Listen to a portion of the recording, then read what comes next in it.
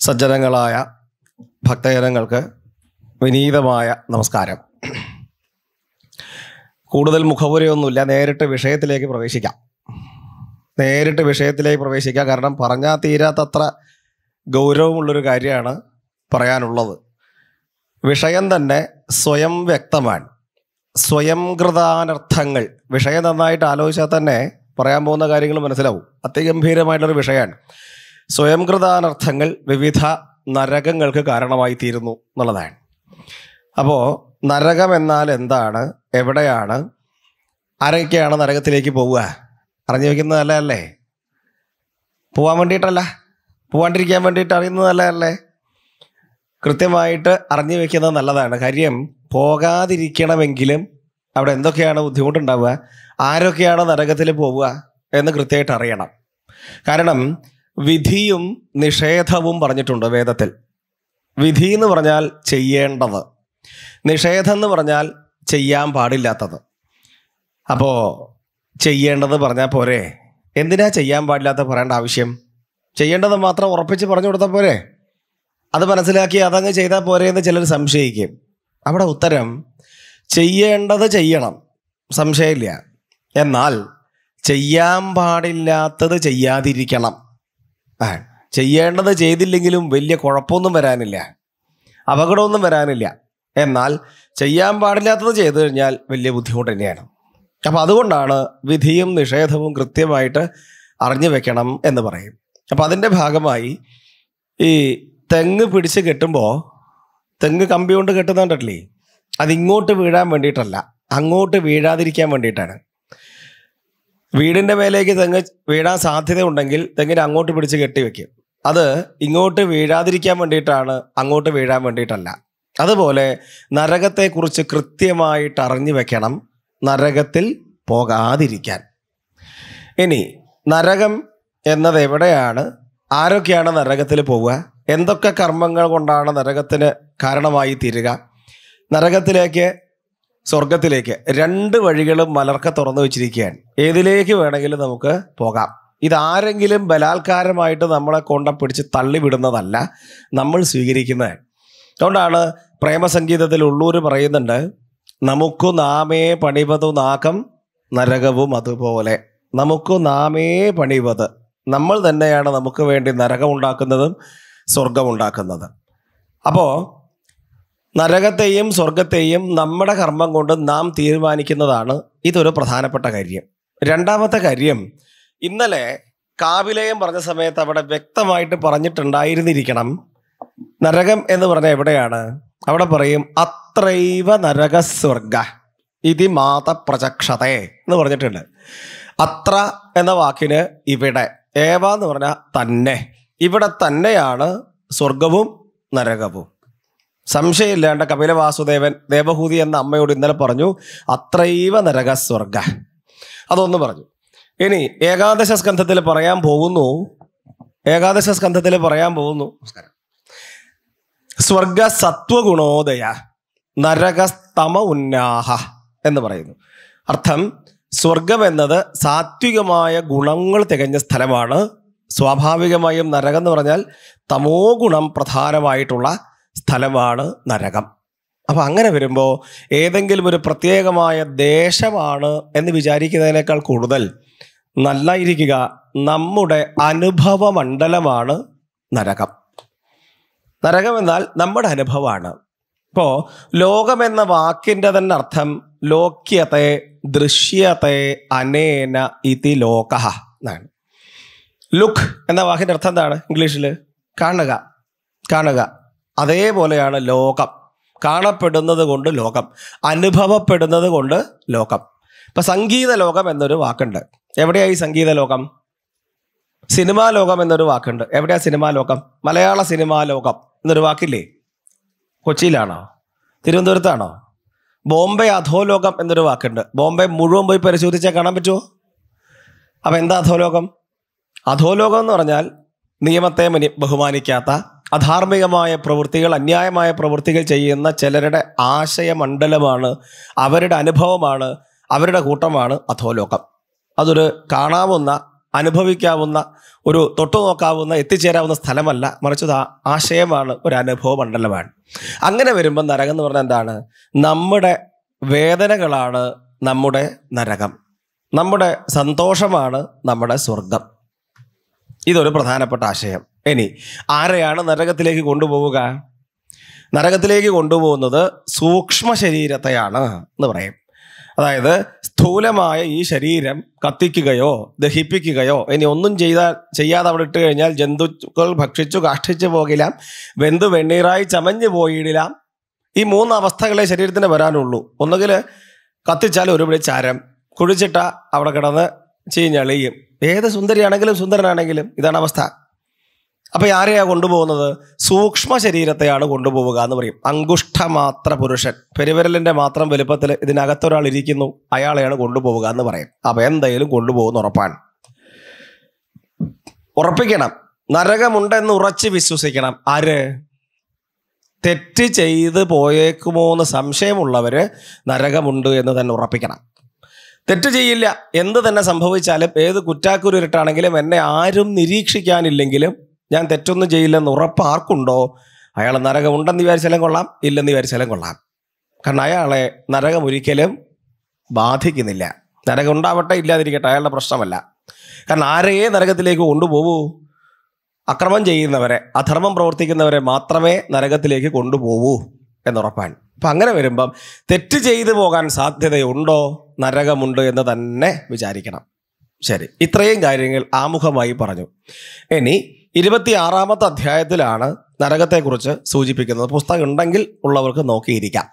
അവിടെ പറയുന്നത് ശ്രീ ശ്രീശുഖ മഹർഷിയോട് രാജാവ് ചോദിക്കുകയാണ്. മഹർഷയെ ഏതത് വൈചിത്ര്യം ലോകസ്യ കഥമിതി?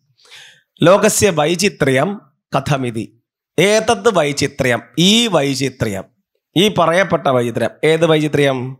പഞ്ചമസ്കന്ധത്തിൽ ഇരുപത്തിയഞ്ച് അധ്യായങ്ങളെ കൊണ്ട് പറഞ്ഞിട്ടുള്ള അധോലോകങ്ങളെക്കുറിച്ച് ഉപരിലോകങ്ങളെക്കുറിച്ച് നക്ഷത്രത്തെക്കുറിച്ച് പാതാളത്തെക്കുറിച്ച് അനവധി പറഞ്ഞു.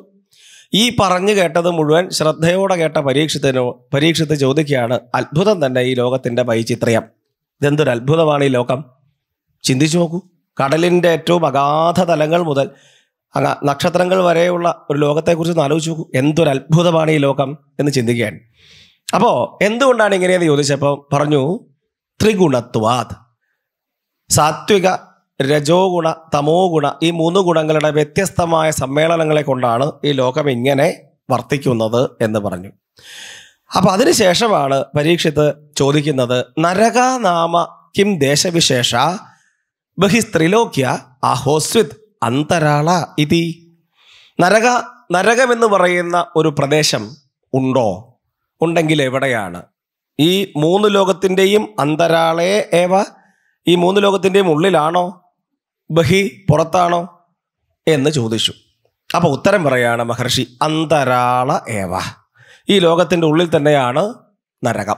അന്തരാള ഏവ എന്ന് പറയുമ്പോൾ അന്തരാളേ ഏവ. ഈ ലോകത്തിന്റെ ഉള്ളിൽ തന്നെയാണ് നരകം. എവിടെയാണ് സ്ഥലം?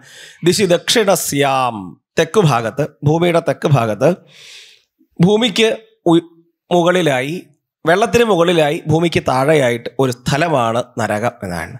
ഈ പറഞ്ഞ സ്ഥലം വേണമെങ്കിൽ നമുക്ക് എന്ത് ചെയ്യാം? ഇന്ന് പോയി നോക്കാം. നമുക്ക് ഇന്ന് വിമാനമുണ്ട് കപ്പലുണ്ട്. അവിടെ പോയി നോക്കിയാൽ ഈ നരകം കാണാൻ പറ്റുമോ തോന്നില്ല. എന്തുകൊണ്ട് തോന്നില്ല? അനുഭവമാണ് നരകം. അതുകൊണ്ട് അതിനെക്കുറിച്ച് ആലോചിക്കേണ്ട. അവിടെ ഉണ്ടോ ഇല്ല ഇതൊന്നും വിഷയമല്ല. നമ്മൾ എന്തേ അറിയേണ്ടതുള്ളൂ? നമ്മൾ അറിയേണ്ടത് ഇന്ന ഇന്ന കാര്യങ്ങളൊക്കെ തെറ്റാണെന്ന് ബോധിപ്പിക്കാനാണ് നരകത്തെക്കുറിച്ച് പറഞ്ഞതെന്ന് വിചാരിക്കാം. അപ്പോ നരകത്തിൽ അങ്ങനെ ആൾക്കാർ ആരെങ്കിലും ഉണ്ടോ? അവർ പീഡനം അനുഭവിക്കുന്നുണ്ടോ? അവരെ പീഡിപ്പിക്കുന്നവരുണ്ടോ? അവരെ എണ്ണയിലിട്ട് വറക്കുന്നുണ്ടോ? ഒക്കെ ചെയ്തു കൊള്ളട്ടെ. ആരെ മാത്രമാണ്? അധർമ്മം പ്രവർത്തിക്കുന്നവരെ മാത്രമാണ് നമ്മൾ അതിനെക്കുറിച്ച് ആലോചിക്കേണ്ട കാര്യം പോലുമില്ല. തൃശ്ശൂർ സെൻട്രൽ ജയിലിൽ നിന്ന് ഉച്ചയ്ക്ക് എന്തായിരുന്നു ഭക്ഷണം? ആലോചിച്ചിട്ടുണ്ടോ ആരെങ്കിലും?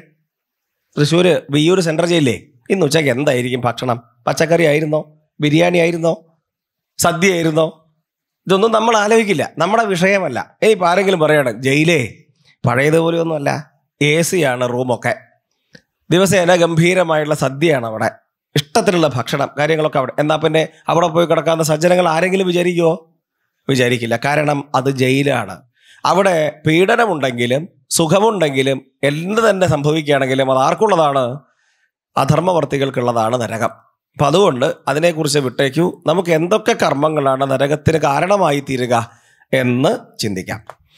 അപ്പോൾ ഇനി പറയാൻ പോകുന്നത് പറഞ്ഞു ഭൂമേരുപരിഷ്ടാച്ച ജലാത് യസ്യാം അഗ്നിശ്വത്താദയ പിതൃഗണാദിശിസ്വാനാം ഗോത്രാണം പരമേണ സമാധിന.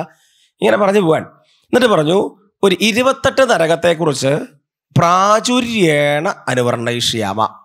അഷ്ടാവിംശതിർ നരകാൻ ഇരുപത്തെട്ട് നരകത്തെക്കുറിച്ച് പറയാം. അപ്പോൾ ഇരുപത്തെട്ട് നരകങ്ങൾ മാത്രം മതിയാകുമോ ഈ അറുന്നൂറ് കോടി ജനങ്ങൾക്ക്? അറിയാമോ ഇരുപത്തെട്ട് തെറ്റേ മനുഷ്യൻ ചെയ്യുള്ളൂ. മനുഷ്യൻ എന്തൊക്കെ തെറ്റ് ചെയ്യും? ആർക്കെങ്കിലും പറയാൻ പറ്റുമോ? ഇന്ന് ഇന്ന തെറ്റേ മനുഷ്യൻ ചെയ്യൂ. പറയാൻ പറ്റുമോ? പറ്റില്ല. ഇതുവരെ ലോകത്ത് ഒരാളും ചെയ്യാത്തൊരു തെറ്റ് ഒരു മനുഷ്യന് ഇന്നോ നാളെ ചെയ്യാൻ പാടില്ലേ? തീർച്ചയായിട്ടും ചെയ്യാൻ പാടുണ്ട്. അപ്പം അങ്ങനെ വരുമ്പം മനുഷ്യർ എന്തൊക്കെ തെറ്റ് ചെയ്യും?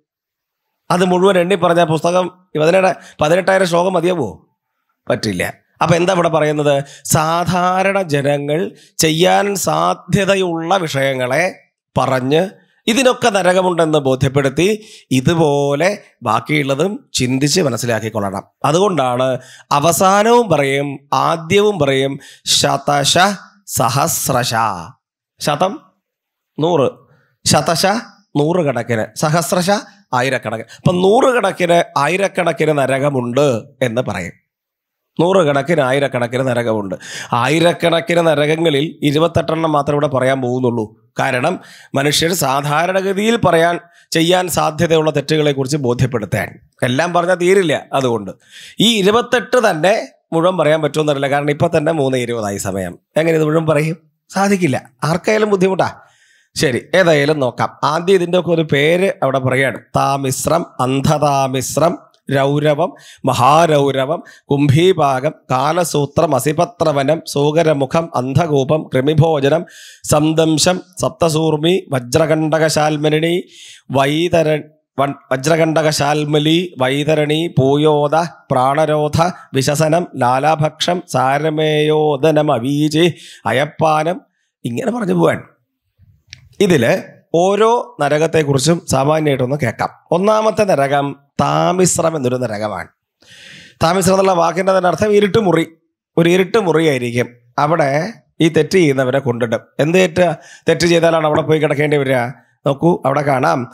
പരവിത്താപത്യകളത്രാണി അപഹരതി. പരന്റെ വിത്തം.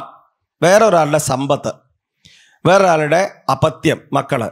വേറൊരാളുടെ ഭാര്യയെ. ഒക്കെ തട്ടിക്കൊണ്ടുപോകുന്നവർക്കുള്ള നരകമാണ് താമിശ്ര നരകം. അവിടെ പോയി കിടക്കേണ്ടി വരും. അപ്പം അതുകൊണ്ട് അത് ചെയ്യരുതേ. ഇരുട്ട് മുറിയിൽ നമുക്ക് ഇന്ന് അറിയോ ശരിക്കും ഇരുട്ടിന്റെ ശക്തി? നമ്മൾ നമ്മളെ വീട്ടിലെ എല്ലാ ബൾബുകളും ഓഫ് ചെയ്ത് വെച്ചാലും അപ്പുറത്തെ വീട്ടിൽ വെളിച്ചം ഉണ്ടാവും. ഇല്ലേ റോഡിൽ പോകുന്ന വാഹനത്തിന്റെ വെളിച്ചം ഉണ്ടാവും. ഒരിടത്തും പ്രകാശമില്ലാത്ത കുറ്റാക്കൊരിട്ട് സങ്കല്പിക്കാൻ പറ്റുന്നുണ്ടോ? അതുപോലെ ഇരുട്ട് മുറിയിലേക്ക് വെളിച്ചത്തിന്റെ ഒരു കണിക പോലും വരാത്തൊരു സ്ഥലത്തേക്ക് നമ്മളെ കൊണ്ടിടും. എത്ര കാലം എത്ര കാലം തെറ്റ് ചെയ്തിട്ടുണ്ടോ അത്രയും കാലം അവിടെ പോയി കിടക്കേണ്ടി വരും. അതുകൊണ്ട് അവിടെ പോയി കിടക്കേണ്ടി വരരുത്. എന്ത് ചെയ്യാതിരുന്നാൽ മതി? ഈ തെറ്റുകൾ ചെയ്യാതിരിക്കാണ്ട്. വേറൊരാളുടെ സമ്പത്ത് വേറൊരാളുടെ മക്കൾ വേറൊരാളുടെ ഭാര്യ ഒന്നും തട്ടിക്കൊണ്ടുപോകരുതേ എന്ന് പറഞ്ഞു. ഇനി അടുത്തതാണ് അന്ധതാമിശ്രം. അത് കുറച്ചുകൂടി ഗ്രേഡ് കൂടിയ തിരക്കാൻ ഇരുട്ടുമുറിയാണ് അവിടേക്ക് നമ്മളെ കൊണ്ടുപോയിടും കൊണ്ടുപോകുമ്പോൾ നമ്മളെ കണ്ണും കൂടി കുത്തി പൊട്ടിക്കും. പിന്നെ കറണ്ട് വന്നാലും നമ്മൾ അറിയില്ലേ മറ്റേതൊരു സാധ്യതയുണ്ട്. എപ്പോഴെങ്കിലും കറണ്ട് വന്നാൽ അറിയും. ചിലപ്പോൾ ആരെങ്കിലുമൊക്കെ സ്വിച്ച് ഇടും എന്ന് വിചാരിക്കാം. ഇവിടെ അതുമില്ല. കണ്ണ് കൂട്ടി പൊട്ടിച്ച് നഷ്ടമൃത്തി നഷ്ടദൃഷ്ടി. ബുദ്ധി കെട്ട് എന്താ സംഭവിക്കുന്നതെന്ന് മനസ്സിലാവാതെ ഭ്രാന്ത് പിടിച്ചതുപോലെ കണ്ണും കാണാതെ അവിടുന്ന് ഇങ്ങനെ അടി കിട്ടിക്കൊണ്ടിരിക്കും. നേരത്തെ അടിക്കുന്ന ആരാന്ന് കാണാനെങ്കിലും ശ്രമിക്കാമോ ചെയ്യുന്നു തന്നെ തുറന്ന് നോക്കാം. കാണില്ലെങ്കിലും ഇതിപ്പോൾ അടിക്കുന്ന ആരാന്ന് മനസ്സിലാവില്ല. എവിടുന്ന് അടി വരുന്നെന്ന് അറിയില്ല. എന്തുകൊണ്ട് അടിയെന്ന് അറിയില്ല. അതിഭീകരമായിട്ടുള്ള അടി ഇങ്ങനെ കിട്ടിക്കൊണ്ടിരിക്കും അന്ധതാമിശ്രത്തിൽ അപ്പൊ അവിടെ ആരാ പോയി കൊണ്ടുപോയി കിടക്കേണ്ടി വരുന്നത്? അവിടെ പോയി കിടക്കേണ്ടി വരുന്നത് നേരത്തെ ചെയ്ത തെറ്റുകൾ തന്നെയാണ് അവിടെയും. പക്ഷേ ഈ തെറ്റിന് ഈ പ്രാവശ്യം കുറച്ച് കൂടുതലുണ്ട്. കാരണം വഞ്ചയിത്വ പുരുഷം ധാരാതീനുപയുക്തേനാൻ വഞ്ചിച്ചുകൊണ്ട് ഈ തെറ്റുകളൊക്കെ ചെയ്യുക വഞ്ചിക്കുക അതായത് സുഹൃത്താണെന്ന് പറയാം. സുഹൃത്താണെന്ന് പറഞ്ഞ് വീട്ടിന്റെ ഉള്ളിൽ കയറാനുള്ള സ്വാതന്ത്ര്യം അടുക്കളയിൽ കയറി ചെല്ലാനുള്ള സ്വാതന്ത്ര്യം ബെഡ്റൂമിൽ പോലും വേണമെങ്കിൽ കയറി ചെല്ലാനുള്ള സ്വാതന്ത്ര്യം നേടിയെടുക്കുന്നു. സുഹൃത്താണ് സുഹൃത്താണ്. ബെസ്റ്റ് ഫ്രണ്ടാണ്. അങ്ങനെ പറഞ്ഞ് പറ്റിക്കൂടി പറ്റിക്കൂടി ഒരിക്കൽ കേൾക്കാം. സുഹൃത്തിന്റെ കൂടെ വീട്ടം ഇറങ്ങിപ്പോയി എന്ന് കാണാം. വീട്ടം ഇറങ്ങിപ്പോയി ആരുടെ കൂടെ ഇറങ്ങിപ്പോകുന്നെന്ന് അറിയില്ലേ നോക്കൂ. മുപ്പത്തഞ്ചും നാൽപ്പത്തഞ്ചും വയസ്സുള്ള വീട്ടമ്മ പതിനെട്ടും പത്തൊമ്പതും വയസ്സുള്ള ചെറുപ്പക്കാർ കുട്ടികളുടെ കൂടെ ഇറങ്ങി പോവുക തന്നെയാണ്. പത്രത്തിൽ വായിക്കുന്നില്ലേ? ഒരു കാര്യം ഉറപ്പാണ് ഈ നരകത്തിൽ മലയാളികളുണ്ടാവും. ഭാഷ മനസ്സിലാവാത്ത ഒരു പ്രശ്നവും വരില്ല. ലോകത്ത് എവിടെ പോയാലും മലയാളികളെ കാണാമെന്ന് പറയുന്നത് പോലെ ഈ നരകത്തിൽ പോയാലും മലയാളികളുണ്ടാവും. കാരണം അത്രയധികം പത്രവാർത്തകൾ നമ്മൾ കേൾക്കാൻ പെയിന്റ് പണിക്ക് വന്ന നാല് ദിവസം പെയിന്റ് അടിക്കാൻ വീട്ടിൽ വന്ന ആളുടെ കൂടെ ഇയാൾ തന്നെ കുറച്ചുകൂടി നല്ലത്. ഇയാൾ തന്നെ കുറച്ചുകൂടി നല്ലത്. കെട്ടിയ സ്വന്തമായി കല്യാണം കഴിച്ച മക്കളുടെ അച്ഛനായിരിക്കുന്ന ഭർത്താവ് അയാൾ എന്തിനു കൊള്ളാം? ഇവനാ കുറച്ചുകൂടി നല്ലത്. ഇറങ്ങി പോവാൻ ഒന്ന് വെറുതെ ആലോചിച്ച് നോക്കൂ. എന്തായിരിക്കും ഇവരുടെയൊക്കെ ഒരു മാനസികാവസ്ഥ? ഇത്തരം സാഹചര്യങ്ങളിൽ ഇതൊക്കെ പറയേണ്ടത്? അതുകൊണ്ട് പറയാൻ എന്തായിരിക്കും ഇവരുടെയൊക്കെ മാനസികാവസ്ഥ? എന്ത് സങ്കല്പിച്ചായിരിക്കും പോകുന്നുണ്ടാവുക? എന്ത് പ്രതീക്ഷിച്ചിട്ടായിരിക്കും? ഈ ഒരു സാധനം കയ്യിലുണ്ടോ? രണ്ടോ മൂന്നോ മണിക്കൂർ കൊണ്ട് എന്ത് ചെയ്യാം? ഈ ആൾക്കാർ മുഴുവൻ പിടിക്കാൻ പറ്റും. എന്നിട്ട് തലവഴി ഷാളിട്ട് സ്വന്തം മക്കളെ മുഖത്ത് നോക്കാൻ പറ്റാണ്ട് കുടുംബക്കാരുടെ മുഖത്ത് നോക്കാൻ പറ്റാണ്ട് അധപ്പതിക്കുന്ന ജീവിതത്തിലേക്ക് കൂപ്പുകുത്തുന്നു. എന്തുകൊണ്ടായിരിക്കും? ചിന്തിച്ചു നോക്കൂ. എന്തായിരിക്കും പ്രതീക്ഷിക്കുന്നുണ്ടാവുക? ഇവനിൽ നിന്ന് കിട്ടുന്നതിനേക്കാൾ ഇവളിൽ നിന്ന് കിട്ടുന്നതിനേക്കാൾ എന്ത് സുഖമാണ് വേറൊരാളിൽ നിന്ന് കിട്ടാൻ സാധ്യതയുള്ളത്? താരതമ്യം കൊണ്ട് വെറും വിഡ്ഢിത്തം കൊണ്ട് അന അസ്ഥാനസ്ഥമായ കാമസങ്കല്പം കൊണ്ടാണ് ഈ തെറ്റുകളൊക്കെ ഉണ്ടാവുന്നത്. അപ്പം അതുകൊണ്ട് അങ്ങനെയുള്ള നരകത്തിലേക്ക് പോയി കിടക്കേണ്ടി വരും. അന്ധതാമിശ്രം. അടുത്തത് രൗരവം എന്ന് പറയുന്ന ഒരു നരകമാണ്. രൗരവം. രൗരവ നരകത്തിൽ പോയി കിടക്കേണ്ടി വരിക. യസ്തുഹവ ഏതത്? അഹമിതി മമേതമിതി ഭൂതദ്രോഹേണ കേവലം സുകുടുംബമേവ അനുദിനം പ്രപുഷ്ണാതി വാക്കിന്റെ അർത്ഥം ഏകദേശം മനസ്സിലാവുന്നില്ലേ? ഞാനും എന്റെ കുടുംബവും കഴിഞ്ഞു. അതിനപ്പുറത്തൊന്നുമില്ല. അമ്പലത്തിൽ സപ്താഹം നടക്കുന്നുണ്ട്. ദശാവതാരം മഹാസത്രം നടക്കുന്നുണ്ട്. ഒരു നൂറ് രൂപ വഴിപാട്. ഞാൻ തരില്ല. ഞാൻ ആ ഭാഗത്തേക്ക് വരുന്നില്ല. എനിക്ക് നിങ്ങളെ ചോറും വേണ്ട പ്രഭാഷണം കേൾക്കണ്ട. ഞാൻ ആ ഭാഗത്തേക്ക് വരുന്നില്ല. ഇതൊക്കെ കഴിഞ്ഞിട്ട് വന്നു കൊടുത്തോളാം പൈസ ഞാൻ തരില്ല. ഇങ്ങനെ പറയുന്നവരുണ്ടാവും. ഇങ്ങനെ പറയുന്നവരുണ്ടാവും. ഇനി ക്ഷേത്രത്തിന്റെ കാര്യം വിശ്വാസത്തിന്റെ വിഷയമാണ്. ശരി വിട്ടേക്കാം. ഒരു പൊതുവിഷയം ഒരു ഗ്രന്ഥശാല തുടങ്ങുന്നു. ഒരു പത്ത് പുസ്തകത്തിന്റെ പൈസ തരാമോ? എനിക്ക് വേണ്ട പുസ്തകം ഞാൻ വാങ്ങിക്കോളും. ഞാൻ പൈസ തരില്ല. ഒരു റോഡ് വെട്ടിത്തെളിക്കാൻ പോകുന്നു. ഒരു സഹായം ചെയ്യാമോ? പൈസ വേണ്ട ഒന്ന് വരാമോ? വരില്ല. ഇങ്ങനെ വിചാരിക്കുന്നവരുണ്ട്. അങ്ങനെയുള്ളവർ പ്രത്യേകിച്ച് ദ്രോഹമൊന്നും ചെയ്യുന്നില്ല. പക്ഷെ ചെയ്യേണ്ടുന്ന സാമൂഹികമായ ഒരു കർത്തവ്യ നിർവഹണം അദ്ദേഹം ചെയ്യുന്നില്ല. അയാൾ തെറ്റൊന്നും ചെയ്യുന്നില്ല. അയാൾ എന്തേ ചെയ്യുന്നുള്ളൂ? അയാൾ അയാളുടെ കുടുംബം നോക്കുന്നു മക്കളെ നോക്കുന്നു സുഖമായിട്ടിരിക്കുന്നു പക്ഷേ അത് മാത്രം മതിയോ മനുഷ്യൻ? ചിന്തിച്ചു നോക്കൂ. കാരണം മനുഷ്യനൊരു സാമൂഹിക ജീവിയാണ്. ഒരു നിമിഷം പോലും നമുക്ക് മുന്നോട്ട് പോകണമെങ്കിൽ എത്ര പേരുടെ സഹായം വേണം? ചിന്തിക്കൂ. ഇപ്പം ഇവിടെ ഇരിക്കുന്ന ഇത്രയും പേര് എന്റെ ശബ്ദം കൃത്യമായി കേൾക്കുന്നു. അതെന്റെ ശബ്ദത്തിന്റെ മഹത്വം കൊണ്ടല്ല. മൈക്കുള്ളത് കൊണ്ടാണ്. ആരോ എവിടെയോ മൈക്ക് കണ്ടുപിടിച്ചു. ആരോ എവിടെയോ ഈ ഇരുമ്പുണ്ടാക്കി. ആരോ ഇത് കൃത്യമായി തയ്യാറാക്കി വെച്ചു. ഞാൻ ആകെപ്പാടെ ചെയ്തത് ഈ സ്വിച്ച് ഓൺ ചെയ്യൽ മാത്രമാണ്. അപ്പം ഞാനിവിടുന്ന് ഈ പറയുമ്പോൾ ഇവരെയൊക്കെ ഒന്ന് മനസ്സുകൊണ്ട് സ്മരിച്ച് ഇവരോടൊക്കെ ഒന്ന് വിനയത്തോടെ ഒന്ന് മനസ്സിൽ സ്മരിക്കാനും കഴിഞ്ഞില്ലേ ഞാനതിനെ കൊള്ളാം? ചിന്തിക്കൂ ഒരു നിമിഷം. കസേരയിൽ ഇരിക്കുന്നില്ലേ? കസേരയിൽ ഇരിക്കുന്നു നമ്മൾ ശരി ഈ കസേര എന്ന് പറയുന്ന ഒരു സാധനം ലോകത്ത് ഒരിടത്തും ഇല്ലാത്തൊരു കാലത്തെക്കുറിച്ച് ആലോചിച്ച് നോക്കൂ. അങ്ങനെ വരുമ്പം നിലത്തിരുന്ന് കാലിന് വേദന വന്ന ഏതോ ഒരാൾ കുറച്ചും കൂടി ഉയർന്നിരുന്നാൽ സൗകര്യമായിരിക്കുമെന്ന് ചിന്തിച്ചതിന്റെ ഭാഗമല്ലേ ഈ കസേര? ചിന്തിച്ചു നോക്കൂ. അങ്ങനെ എത്ര പേരുടെ ത്യാഗം കൊണ്ടാണ് എത്ര പേരുടെ അധ്വാനം കൊണ്ടാണ് നമ്മൾ ഒരു ദിവസം മുന്നോട്ട് പോകുന്നത്? ചിന്തിക്കൂ. രാവിലെ സാമ്പാർ ഇഡ്ഡലി സാമ്പാർ ഉണ്ടാക്കണേ സാമ്പാർ ഉണ്ടാക്കാനുള്ള വെണ്ടയ്ക്കയും തക്കാളി എവിടുന്ന് വരണം? തമിഴ്നാട്ടിൽ നിന്ന് വരണം. പരിപ്പ് എവിടെ നിന്ന് വരണം? ഉത്തർപ്രദേശിൽ നിന്ന് വരണം. ഇതൊക്കെ നമ്മൾ പോയി വാങ്ങിക്കൊണ്ടുവരാൻ പുറപ്പെട്ട ഒരാഴ്ച പിടിക്കും ഒരു സാമ്പാർ ഉണ്ടാക്കാൻ. അവിടെ പോയിട്ട് പരിപ്പ് വന്നു തമിഴ്നാട്ടിൽ പോയി സാധിക്കുന്ന കാര്യമല്ല. ആരൊക്കെയോ ചേർന്ന് നമ്മളെ അടുത്തുള്ള കടയിൽ കൊണ്ടുവയ്ക്കുന്നു. അങ്ങനെ അവരൊക്കെ അവരുടെ പ്രവൃത്തികൾ ചെയ്യുന്നതുകൊണ്ടാണ് നമുക്ക് നമ്മളെ ഭക്ഷണം കഴിക്കാൻ നമ്മൾ ഉപയോഗിക്കുന്ന വസ്തുക്കൾ ഇതൊക്കെ ചെയ്യാൻ പറ്റുന്നത്. അങ്ങനെ ചിന്തിക്കുമ്പോൾ ഈ ഞാൻ സമൂഹത്തിന് വേണ്ടി എന്ത് ചെയ്യുന്നു? എന്താണ് എനിക്ക് ചെയ്യാൻ കഴിയുന്നത്? ആലോചിക്കേണ്ടതാണ്. ഇന്നത്തെ ഒരു ദിവസം ഞാൻ എന്ത് ചെയ്തു? ചിന്തിക്കൂ. അങ്ങനെ വരുമ്പോൾ എന്തെങ്കിലും ഒന്ന് സമൂഹത്തിന് വേണ്ടി സന്തോഷത്തോടെ ത്യജിക്കാൻ നമുക്കും സാധിക്കണം. കാരണം ത്യാഗേ നെയ്ക്കേ അമൃതത്വമാനശു. ഇതാണ് നമ്മുടെ സങ്കല്പം. ഭോഗമല്ല മറിച്ച് ത്യാഗമാണ് ഭാരതീയ സങ്കല്പത്തിന്റെ മഹത്വം. എന്തെങ്കിലും ഒന്ന്. അതിപ്പോൾ എല്ലാവരും പണം കൊടുക്കണം പറഞ്ഞിട്ടില്ല. എല്ലാവരും വസ്ത്രം കൊടുക്കണം നിർബന്ധമില്ല. എല്ലാവരും അന്നദാനം ചെയ്യണം നിർബന്ധമില്ല. നല്ല കാര്യങ്ങൾ പറയാം കേൾക്കാം. ഇപ്പം ഈ പത്ത് ദിവസത്തെ സത്രം ഇവിടെ നടക്കുന്നു.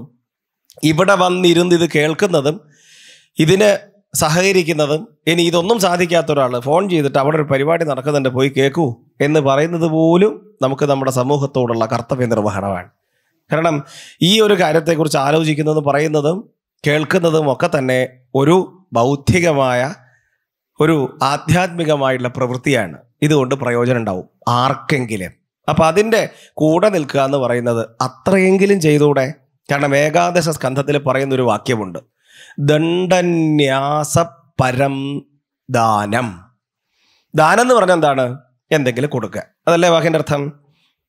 അന്നദാനം എന്ന് പറഞ്ഞാൽ എന്റെ കയ്യിൽ അന്നം ഉണ്ടായിരിക്കണം. എന്നാലേ എനിക്ക് അന്നം കൊടുക്കാൻ പറ്റുള്ളൂ. വസ്ത്രദാനത്തിന് വസ്ത്രം എന്റെ കയ്യിൽ ഉണ്ടായിരിക്കണം. എന്നാൽ ഒന്നും കയ്യിലില്ലാത്ത ഒരാൾക്കും ഒരു ദാനം ചെയ്യാം. അത് മോശമായ പ്രവൃത്തിയിൽ നിന്നും വിട്ടുനിൽക്കലാണ് ഏറ്റവും വലിയ ദാനം ഞാൻ ദണ്ഡന്യാസ പരം ദാനം. പരമമായ ദാനം എന്ന് പറയുന്നത് മോശമായ വാക്ക് പറയാതിരിക്കുക മോശമായ പ്രവൃത്തി ചെയ്യാതിരിക്കുക ദാനമാണ്. അങ്ങനെ ചിന്തിക്കുമ്പം എന്തൊക്കെ ദാനം നമുക്ക് ചെയ്യാം? ഇതൊന്നും ചെയ്യാതെ സ്വകുടുംബമേവ അനുദിനം പ്രപുഷ്ണാതി സ്വന്തം കുടുംബം മാത്രം ഭൂതദ്രോഹേണ ആരെയും ദ്രോഹിച്ച് ചെയ്യുന്നവരുണ്ടെങ്കിൽ അവർക്കുള്ള നരകമാണ് രൗരവം. രുരു എന്ന് പറഞ്ഞാൽ സർപ്പത്തേക്കാൾ കൂടുതൽ ക്രൂരതയുള്ള ഒരു ജീവിയാണ് പോലും. അത് വന്നിട്ട് നിരന്തരമായിട്ട് ഇങ്ങനെ കുത്തിക്കൊണ്ടിരിക്കും. രാത്രി ഉറങ്ങാൻ കിടക്കുമ്പോഴൊക്കെ കുത്തിക്കൊണ്ടിരിക്കും. ഒരു കൊതുകുണ്ടെങ്കിൽ ഉറക്കം നേരെയാവോ? ഒറ്റൊരു കൊതുകുണ്ടായാൽ മതി. അവിടെ അടിച്ചാൽ ചാവൂല്ല. ആലോചിച്ച് നോക്കൂ. എന്നിരിക്കെ ഈ രുരു വന്നിട്ട് ഇങ്ങനെ കുത്തിക്കൊണ്ടിരുന്നാൽ എന്താ ഒരു സ്വസ്ഥത ഉണ്ടാവുക? അവിടെ അങ്ങനെ കിടക്കേണ്ടി വരും. അപ്പോൾ അതുകൊണ്ട് എന്ത് ചെയ്യണം? നമ്മളാലാവുന്നത് നമ്മൾ എന്ത് ചെയ്യണം? കൃത്യമായി നൽകണം. ഇനി ദാനം എന്ന വാക്കിന്റെ ഏറ്റവും ഉന്നതമായ അർത്ഥം ഓർത്ത് വയ്ക്കണം ദാനം എന്ന് പറഞ്ഞാൽ യഥാശക്തി സംവിഭാഗമാണ്. നമ്മൾ ആർക്കും ഒന്നും കൊടുക്കുന്നില്ല. നമ്മൾ എന്ത് ചെയ്യുന്നു? നമ്മളെ കയ്യിലുള്ളത് കൃത്യമായി വിഭജിച്ച് ആവശ്യമുള്ളവർക്ക് കൊടുക്കുന്നു. ഇപ്പം ഞാൻ പറയുകയാണ് ഈ മുറ്റത്തുള്ള ഓക്സിജൻ മുഴുവൻ ഞാൻ ശ്വസിക്കും. ഒരാൾ ശ്വസിക്കാൻ പാടില്ല എന്ന് പറഞ്ഞാൽ എങ്ങനെ ഇരിക്കും? ഈ മുറ്റത്തുള്ള ഓക്സിജൻ മുഴുവൻ ഞാൻ മാത്രം ശ്വസിക്കും. വൈകുന്നേരം വരെ ഒറ്റ കുട്ടി ശ്വസിക്കരുതെന്ന് പറയാൻ എനിക്ക് അധികാരമുണ്ടോ? കാരണം പ്രാണവായു ഭഗവാന്റെ അനുഗ്രഹമാണ്. എല്ലാവർക്കും തുല്യമാണ് ഭൂമികടിയിലെ ജലം എല്ലാവർക്കും തുല്യമാണ്. സൂര്യപ്രകാശം എല്ലാവർക്കും തുല്യമാണ്. നദിയിലൂടെ ഒഴുകി പോകുന്ന വെള്ളം എല്ലാവർക്കും മനുഷ്യർക്ക് മാത്രമല്ല സകല ജീവജാലങ്ങൾക്കും. അങ്ങനെ ചിന്തിച്ചാൽ എല്ലാ വിഭവങ്ങളും എല്ലാവർക്കും ഉള്ളതാണ്. ഈ സങ്കല്പമെങ്കിലും നമ്മുടെ മനസ്സിലുണ്ടായിരിക്കണം. അതില്ലാത്തവർക്ക് അവിടെ പോയി കിടക്കേണ്ടി വരുന്നാണ് രൗരവം. ഇനി അടുത്തത് യസ്തിഹവ ഉഗ്രഹ പശൂൻ പക്ഷിണോവ പ്രാണത ഉപരന്ധയന്തി പശുക്കളെയും പക്ഷികളെയും പ്രാണത ഉപരന്ധി ജീവനോടെ വേവിക്കുന്നവർ നിർത്തിപ്പൊരിക്കുക എന്നുള്ള വാക്ക് കേട്ടിട്ടില്ലേ? നിർത്തിപ്പൊരിക്കുക എന്നൊരു വാക്കുണ്ട് ചില പ്രദേശത്ത്. ജീവനോടെ ചുട്ടിരിക്കുക. ഒരു കമ്പൊക്കെ കുത്തി കോർത്ത് ഇങ്ങനെ കറക്കിക്കൊണ്ടിരിക്കുക അടിയിൽ തീയിടുക ഈ കനലിൽ ഇങ്ങനെ വെന്ത് വരിക. കണ്ടിട്ടില്ലേ ടി വിയിലൊക്കെ? അങ്ങനെയുള്ളവർക്കുള്ള നരകമാണ് കുംഭീപാകം. കുംഭീപാകം എന്നൊരു നരകം. അവിടെ എന്താണ് കുംഭിഭാഗെ തപ്ത തൈലേ ഉപരന്ധയന്തി നല്ല രസമുള്ളൊരു നിറകാൻ നമ്മൾ ഈ പച്ച പപ്പടം കാച്ചാൻ വേണ്ടിയിട്ട് ഉരുളിയൊക്കെ വെക്കുന്നില്ലേ? അതുപോലെ ഉരുളി വെച്ച് അതിലേക്ക് എണ്ണ ഒഴിച്ച് ആ എണ്ണ തൈലം എന്ന് പറഞ്ഞാൽ എണ്ണ എന്നർത്ഥമുണ്ട്. ആ എണ്ണ ഇങ്ങനെ നന്നായിട്ട് ചൂട് പിടിപ്പിച്ച് തിളപ്പിക്കും. നമ്മളെ പിടിച്ച് അതിലേക്ക് ഇങ്ങനെ ഇടും. അതിലേക്ക് ഇടും കോരി വെക്കും അതിലേക്കിടും ഈ ഈ ഉഴുന്നുവടയും പരിപ്പൂടൊക്കെ ഉണ്ടാക്കുന്നില്ലേ? അതുപോലെ. അതുകൊണ്ട് എന്ത് ചെയ്യരുത്? അവിടെ പോയി കിടക്കേണ്ടി വരില്ല. ആര്? ഈ കർമ്മം ചെയ്യാത്തവർ ഉഗ്രഹ പശൂൻ പക്ഷിണോവ പ്രാണത ഉപരന്ധയന്തി. പശുക്കളെയും പക്ഷികളെയും ഇങ്ങനെ കൊല്ലരുത്. പക്ഷി പക്ഷി എന്ന് പറയുമ്പോഴേ കോഴി ഒരു പക്ഷിയാണ്. ആലോചിക്കുന്നുണ്ടോ? കോഴി ഒരു പക്ഷിയാണ്. കോഴി പക്ഷിയല്ലേ? ആ കോഴി പക്ഷിയാണ്. കോഴിയെ ഇങ്ങനെയൊക്കെ ചെയ്യുന്നവർക്ക് നരകത്തിൽ പോയി കിടക്കാം. അതാ പറഞ്ഞ അധികം പറഞ്ഞാൽ വിഷമാവും. അധികം കേട്ടാൽ വിഷമാവും. കേൾക്കേണ്ടിയിരുന്നില്ല ഭഗവാനെ തോന്നിപ്പോവും. അതുകൊണ്ട് പക്ഷി ആ അത് നരകത്തിന് കാരണമായി തീരുന്നതാണ്. യമാനുചര കുംഭീപാകെ തപ്തതൈലേ ഉപരന്ധയന്തി വിശ്വസിക്കണം കേട്ടോ ഉണ്ടായിരിക്കും ഉറപ്പാൻ അപ്പൊ കോഴിയെ തിന്നുന്നത് പാപമാണോ? അതൊക്കെ അടുത്തതിൽ പറയാം അപ്പൊ കേൾക്കാം. ഇത് കേട്ടിട്ട് മാത്രം എഴുന്നേറ്റ് പൊയ്ക്കളയരുത്. ഇത് മുഴുവൻ കേൾക്കണം. അപ്പോഴേ ഇതിന്റെ ഒരു ആശയം മനസ്സിലാവുള്ളൂ. ശരി. അടുത്തത് പിതൃ വിപ്ര ബ്രഹ്മദ്രുക് പിതൃ വിപ്ര ബ്രഹ്മദ്രുക് അവരെ കാലസൂത്രം എന്നൊരു നരകത്തിൽ പോയി കഷ്ടപ്പെടേണ്ടി വരും. അവരൊക്കെ അവിടെ അവരെ അവിടേക്കാണ് കൊണ്ടുപോവുക. എന്താ അവിടുത്തെ പ്രത്യേകത? അരൈ ഈ പിതൃ ബ്രഹ്മദ്രുക് പിതൃക്കളെ അതുപോലെ ബ്രാഹ്മണരെ വിപ്രന്മാരെ ഒക്കെ ദ്രോഹിക്കുന്നവർ വധിക്കുന്നവർ അവർക്കുള്ള നരകമാണ് കാലസൂത്രം. അവിടെ ചെമ്പ് കൊണ്ട് വലിയൊരു തളിക ഒരു ഷീറ്റ്. അധികം കട്ടിയൊന്നുമില്ലാത്ത നല്ലൊരു ഷീറ്റായിരിക്കും. കട്ടി കുറയ്ക്കുന്നതെന്ന് വെച്ചാൽ വേഗം ചൂട് പിടിക്കാൻ വേണ്ടിയിട്ടാണ് അയുത യോജനം ആണ്. അയുത യോജന പതിനായിരം യോജന വലുപ്പം ഉണ്ടാവും ചെറിയ കഷ്ണമൊന്നുമല്ല. ഒരു യോജന എന്ന് പറഞ്ഞാൽ പന്ത്രണ്ട് കിലോമീറ്ററാണ്. ഇപ്പം പതിനായിരം ഗുണിക്കണം പന്ത്രണ്ട്. അത്രയധികം കിലോമീറ്റർ വിസ്തൃതിയുള്ള ചെമ്പിന്റെ തകിടായിരിക്കും. അത് മുഴുവൻ അടിയിൽ തീയിട്ടിങ്ങനെ പൊള്ളിക്കും. നമ്മൾ അതിന്റെ മേലേക്ക് കയറ്റി നിർത്തും. നല്ല സുഖം ഉണ്ടാവില്ലേ? എങ്ങോട്ടോടും? അതാണ് അയുധ യോജന പതിനായിരം യോജന എന്ന് പറഞ്ഞാൽ അതുകൊണ്ടാണ്. എന്തെങ്കിലും തുറ തുള്ളിച്ചാടി കളിച്ചാൽ ഒന്ന് തെറിച്ച് വീണാൽ രക്ഷപ്പെട്ട് കുറച്ചേരെങ്കിലും എന്ന് വിചാരിക്കില്ലേ? സാധിക്കില്ല. കാരണം അയ്യൂത യോജന പതിനായിരക്കണക്കിന് യോജന വിസ്തീർണമുള്ള ഈ ഇതിന്റെ മേലെ കൊണ്ട് നമ്മളിങ്ങനെ കഷ്ടപ്പെടുത്തിക്കൊണ്ടിരിക്കും. അവിടെ ചെന്നിട്ട് എന്ത് ചെയ്യും? അങ്ങോട്ട് ഓടേണ്ടി വരും. ക്ഷുൽപിപാസാഭ്യം. അവിടെ ചെന്നാൽ ഭക്ഷണവും കിട്ടില്ല. വിശപ്പും ദാഹവും സഹിക്കുക വയ്യാതെ ഞാൻ ഇതാ മരിച്ചു പോകുന്നു എന്ന് പറഞ്ഞാൽ ദഹ്യമാന അന്തഹ ബഹി ശരീര. ഉള്ളിലും വെന്തുകൊണ്ടിരിക്കും. കാരണം വിശപ്പ് വയറ് കാളുക എന്ന് പറയില്ലേ? വിശക്കുണ്ട വിശപ്പുണ്ടാകുമ്പം അപ്പോൾ ഉള്ളിലും തീയ പുറത്തും തീയ. ആലോചിച്ച് നോക്കുക അതിന്റെ ഒരു അവസ്ഥ ചുട്ടുപൊള്ളുന്ന ഈ ഫലകത്തിന്റെ മേലേക്ക് കയറ്റി നിർത്തി. നിൽക്കാൻ പറ്റില്ല തുള്ളിച്ചാടിക്കൊണ്ടിരിക്കും. ഓടുകയാണെങ്കിൽ എങ്ങോട്ട് ഓടിയിട്ട് കാര്യമില്ല. അറ്റം കാണാത്ത വലിയൊരു സാധനമായിരിക്കും. അതിഭീകരമായ കഷ്ടപ്പാട് അനുഭവിക്കേണ്ടി വരും. ആര്? പിതൃക്കളെയും വിപ്രന്മാരെയും ബ്രാഹ്മണരെയും ദ്രോഹിക്കുന്നവർ ആരാ പിതൃക്കൾ? ആരാ പിതൃക്കൾ? പിതൃക്കൾ ആരാ ആ അച്ഛനും അമ്മയുമാണ് പിതൃക്കൾ. അച്ഛനും അമ്മയും പിതൃക്കളാണ്. കാരണം ചില ദിക്കിൽ പോയി കഴിഞ്ഞാൽ മരിച്ചു പോയവരെന്ന് ഉത്തരം പറയാറുണ്ട്. അത് നിങ്ങൾ പറയുമോ എന്നറിയാൻ വേണ്ടിയിട്ട് ചോദിച്ചാണ്. പിതൃക്കൾ ആരാന്ന് ചോദിച്ചാൽ ഉടനെ പറയും മരിച്ചു പോയവർ പിതൃക്കളാവാൻ മരിക്കണമെന്നില്ല. പിതൃക്കളാവാനേ മരിക്കണമെന്നില്ല. മരിച്ചാലേ പിതൃക്കളാവുന്നില്ല. ജീവിച്ചിരിക്കുന്ന അച്ഛനമ്മമാരും പിതൃക്കളാണ്. ആ പിതൃക്കളെ ദിവസവും ബഹുമാനിക്കണം. ദിവസവും അവരെ തർപ്പണം ചെയ്യണം. ദിവസവും തർപ്പണം ചെയ്യണം. ജീവനുള്ള അച്ഛനമ്മ എങ്ങനെ തർപ്പിക്കും? അപ്പൊ എന്താ തർപ്പണം എന്നുള്ള വാക്കിന്റെ അർത്ഥം? തർപ്പണം എന്ന വാക്കിന്റെ അർത്ഥം തൃപ്തി വരുന്നത് വരെ ചെയ്യുന്ന കർമ്മം എന്തോ അതാണ് തർപ്പണം. അപ്പൊ ജീവിച്ചിരിക്കുന്ന അച്ഛനമ്മമാരെ എങ്ങനെ തർപ്പിക്കാം? നല്ല വാക്ക് പറയാം. മാന്യമായ ബഹുമാനത്തോടുകൂടിയുള്ള വാക്കുകളെ കൊണ്ട് അവരെ ഉപചരിക്കാം. അവർക്ക് ആവശ്യമുള്ള കാര്യങ്ങളൊക്കെ ചെയ്തു കൊടുക്കാം. ഇതാണ് ജീവിച്ചിരിക്കുന്ന അച്ഛനമ്മമാരോടുള്ള തർപ്പണം. അവർ മരിച്ചു പോയി കഴിഞ്ഞാൽ പിന്നെ അവരുടെ ശരീരം നമ്മളുടെ കൂടെ ഇല്ലാത്തത് കൊണ്ട് അവരെ സങ്കല്പിച്ച് വർഷത്തിൽ ഒരിക്കലെങ്കിലും ശ്രാദ്ധം മുതലായത് ചെയ്യണം. കാരണം മനുഷ്യന്മാരുടെ ഒരു വർഷമാണ് ദേവന്മാരുടെ ഒരു ദിവസം. അതുകൊണ്ട് അവർക്ക് ദിവസേന ഭക്ഷണം കൊടുക്കുന്നു എന്നുള്ള സങ്കല്പത്തിലാണ് എല്ലാ വർഷവും നമ്മൾ ശ്രാദ്ധം ചെയ്യുന്നത്. അത് ചെയ്യാത്തവരുണ്ടെങ്കിൽ അവർക്കുള്ള നരകമാണ് കാലസൂത്രം. അപ്പോൾ ജീവിച്ചിരിക്കുന്ന അച്ഛനമ്മമാരെ വേണ്ടതുപോലെ സംരക്ഷിക്കണം. ആലോചിച്ച് നോക്കൂ. എന്താ ഇന്നത്തെ കേരളത്തിന്റെ അവസ്ഥ? എന്താ അവസ്ഥ?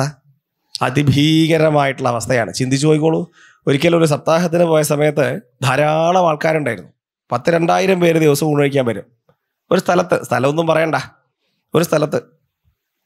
അവിടെ ഒരു ദിവസം പറഞ്ഞു ഈ അനാഥ മന്ദിരമുണ്ട്. വൃദ്ധന്മാർക്കുള്ള സ്ഥലം. വൃദ്ധന്മാർക്കുള്ള സ്ഥലത്ത് ഒരറിയിക്കാം. ഒരു അറിയിപ്പ് നൽകാം. ഇവിടെ സപ്താഹം നടക്കുന്നു. നമുക്ക് അവരെ കൂടെ കൊണ്ടുവരാം. കാരണം അവർക്ക് സർക്കാർ കൊടുക്കുന്നതേ ഉള്ളൂ. വേറെ പ്രത്യേകിച്ച് പണമൊന്നുമില്ല. അവർക്ക് ഒരു ദിവസം ഒരു സന്തോഷകരമായി ഒരു അനുഭവം ഉണ്ടാവട്ടെ എന്ന് പറഞ്ഞ് ഇവിടെ കൊണ്ടുവരാമെന്ന് പറഞ്ഞു. സന്തോഷം കൊണ്ടുവരാൻ പറഞ്ഞു. അവർക്ക് വേണ്ടി ഒരു നാലോ അഞ്ചോ റോ കസേരകൾ റിസർവ് ചെയ്ത് വെച്ചു. അതിന് കുറേ പേപ്പർ വർക്കൊക്കെ നടക്കേണ്ടതുണ്ടായിരുന്നു. അങ്ങനെയൊക്കെയാണ് നടത്തിയത്. അങ്ങനെ അവരെ ഇവിടെ കൊണ്ടിരുത്തി. അവർ വന്നിരുന്നു. സന്തോഷത്തോടെ കേൾക്കുന്നു. ചിലർ കണ്ണ് നിറയുന്നു കേൾക്കുമ്പം. കാരണം പണ്ട് കുട്ടിക്കാലത്ത് ഇപ്പം പ്രായമായവർ അവരുടെ കുട്ടിക്കാലത്ത് പറഞ്ഞാൽ കുറച്ചും കൂടി മുമ്പാണ്. അപ്പോൾ സപ്താഹമൊക്കെ കേട്ട് പരിചയമുള്ളവരാണ്. അവർക്ക് നല്ല സന്തോഷമുണ്ട്. ഉച്ചയ്ക്ക് ആദ്യം ഇവർക്ക് ഭക്ഷണം കൊടുത്തു. അവർ പോകുമ്പോൾ അവർക്ക് തലേദിവസം പറഞ്ഞിട്ടുണ്ടായിരുന്നു താല്പര്യമുള്ളവർക്ക് എന്തെങ്കിലും കൊണ്ടുവരാൻ ഉത്സാഹമുണ്ടെങ്കിൽ കൊണ്ടുവരാം. കാരണം നമ്മൾ എന്ത് കൊണ്ടു കൊടുത്താലും അവർക്ക് ആവശ്യമാണ് എന്ന് പറഞ്ഞപ്പോൾ ചെരുപ്പും ചീപ്പും കണ്ണാടിയും തോർത്തും വസ്ത്രവും പലതും നാട്ടിലുള്ള ആൾക്കാർ കൊണ്ടുവന്നിട്ടുണ്ടായിരുന്നു അതൊക്കെ ഇങ്ങനെ അവർക്ക് അപ്പോൾ അവർക്ക് ആ കൊടുക്കുന്നതിന്റെ പ്രതീകാത്മകമായിട്ട് ഒന്ന് എന്റെ അടുത്ത് കൊടുക്കാൻ പറഞ്ഞു. അതായത് അവരൊരു പാക്കറ്റ് തരും ഞാൻ അത് അവർക്ക് കൊടുക്കും. പ്രതീകാത്മകമായി. ബാക്കിയുള്ളൊക്കെ അവർക്കുള്ളത് തന്നെയാണ് അത് അവിടെ കൊണ്ടുപോയി മൊത്തമായിട്ട് കൊടുക്കും. അപ്പോൾ അവരിങ്ങനെ എഴുന്നേക്കും. ഇങ്ങനെ ഒരു ചെറിയ ഒരു ഒരു- ചെറിയൊരു തട്ടുണ്ട്. അവിടേക്ക് അവർ കയറി വരും. ഞാനിത് എന്റെ കമ്മിറ്റിക്കാർ എന്റെ കയ്യിൽ തരും. ഞാനിതിങ്ങനെ കൊടുക്കും. അവർ പോവും.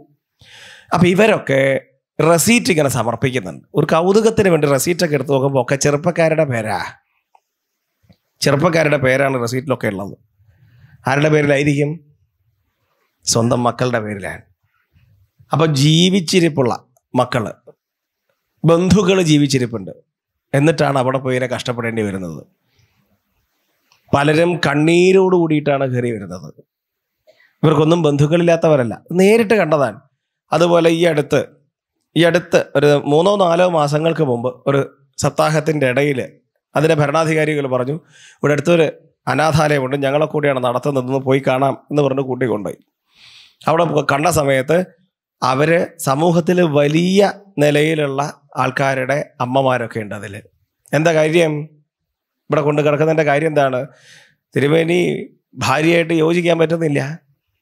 എന്നിട്ടോ ഭാര്യ അറിയാണ്ട് ഇയാൾ വന്നിട്ട് അമ്മയെ കാണുക അപ്പം പറഞ്ഞു അവിടെ ഉള്ളവർ പറഞ്ഞു അമ്മയ്ക്ക് മാത്രമായിട്ട് ഇങ്ങനെ കൊണ്ടു കൊടുത്താൽ ശരിയാവില്ല. അപ്പോൾ അയാൾ പറഞ്ഞു ശരി ഞാൻ എന്ത് ചെയ്യണം? ഉള്ളവർക്ക് മൊത്തമായിട്ട് കൊടുക്കണം. ശരി എന്ത് വേണച്ചാൽ ചെയ്യാൻ തയ്യാ. ആകെ നല്ല സ്നേഹമുണ്ട് അമ്മയോട്. പക്ഷേ ഈ സ്നേഹം പ്രകടിപ്പിക്കാൻ സ്വന്തം വീട്ടിൽ കൊണ്ട് താമസിപ്പിക്കാൻ സാധിക്കില്ല. ഇതൊക്കെയാണ് ഇന്ന് ലോകം. അങ്ങനെ ഒരു ലോകത്തിരുന്നു കൊണ്ടാണ് നമ്മളിത് കേൾക്കേണ്ടത്. അപ്പം അതുകൊണ്ട് പത്രത്തിൽ വന്നില്ലേ?